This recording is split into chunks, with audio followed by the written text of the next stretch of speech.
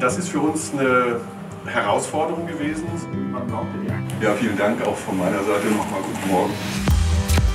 React Pro ist eine Kombinationstechnologie, Spritzkies mit Polyurethan-Überfluten. Wir haben den thermoplastischen Träger.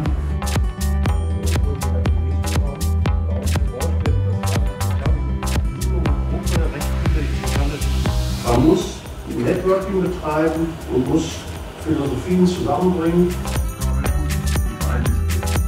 Kann ich Sachen nochmals besser machen? Wo, wo geht die Reise hin?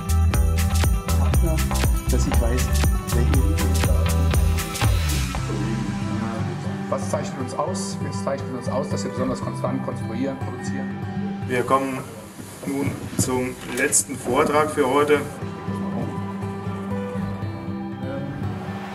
Ja, ich habe es Oberfläche 4.0 genannt.